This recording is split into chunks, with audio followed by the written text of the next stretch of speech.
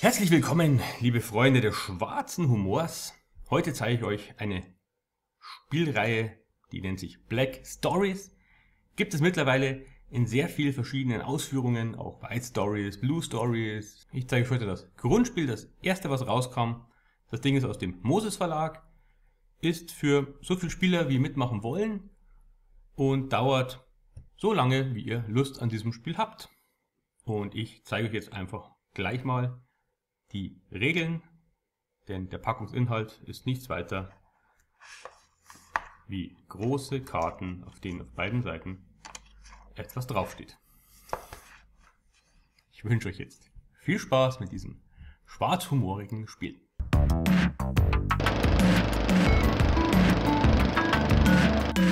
In der Schachtel findet ihr also neben einer kleinen Anleitung einen Satz mit Karten. Es geht grundsätzlich darum, dass ein Spieler der Meister hier ist, der Gebieter, der weiß, was ist geschehen und alle anderen Spieler, die mitspielen, müssen raten, um auf das Szenario zu kommen, dem hier zugrunde liegt.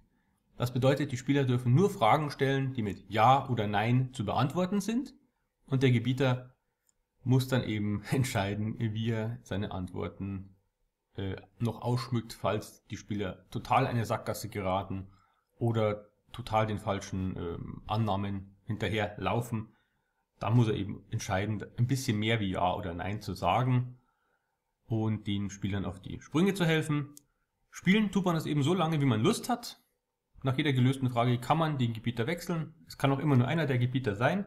Dieses Spiel eignet sich auch grandios im Auto zum Beispiel auf längeren Fahrten zu spielen mit den Kindern mir ist der Papa fährt, die Mama stellt die Fragen und Kinder, Papa raten. Also wirklich ein super Zeitvertreib. Und ich spoiler jetzt nur eine einzige Karte mit der Lösung, ansonsten wäre das relativ unfair. Es sind einfach verschiedene Mordgeschichten. Es liegt immer diesen Black Stories ein Mordfall, ein Todesfall zugrunde und die Spieler müssen erraten, was passiert ist. Und hier heißt es einfach, obgleich alle gebannt den Mord beobachteten, geschah er völlig unbemerkt. Und hinten drauf ist die Lösung, die nur der Gebieter weiß. Der hält die Karte einfach schön vor sich. Die anderen Spieler dürfen jederzeit auch nochmal den Text vorne lesen. Und jetzt fragen sie einfach los, was könnte denn hier passiert sein.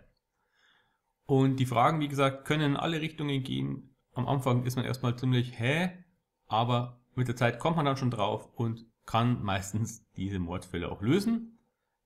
Wie gesagt, diesen einen spoiler ich jetzt. Wer es nicht hören will, macht jetzt am besten das Video mal aus. Ansonsten, ich zähle mal bis drei. Eins, zwei und drei. Okay, jetzt kommt der Spoiler. Eine Frau erstach ihren Mann genau in dem Moment, als auf der Leinwand des Autokinos ebenfalls ein Mord begangen wurde. Genial einfach, obwohl alle gebannt den Mord beobachteten, und zwar den Mord auf der Leinwand, hat es keiner mitgekriegt. So in diesem Stil sind diese ganzen Rätsel aufgebaut. Man muss viel um die Ecke denken, viel querdenken, aber es ist wirklich ein super Spaß für zwischendurch auf Autofahrten oder wenn man nicht lange sich in Regeln einlesen möchte und einfach mal am Abend eine kurze Runde spielen, ist das das perfekte Spiel. Und wie gesagt, es gibt es mittlerweile in sehr, sehr vielen Editionen. Es gibt normalen Black Stories, es gibt die englische Version, es gibt die Mysteries, es gibt ein ganzes Brettspiel, da stelle ich euch ein anderes Mal noch vor. Dann gibt es noch, ich habe hier nochmal einen Plan, es gibt zum Beispiel französische Edition, die Köln-Edition, die Movie-Edition. Dann gibt es für Kinder tauglich auch noch eine Edition. Es gibt eine weiße Edition, es gibt eine pinke Edition, eine blaue Edition für, für Männer, Frauen, alles Mögliche. Wirklich ein toller Spaß für die ganze Familie.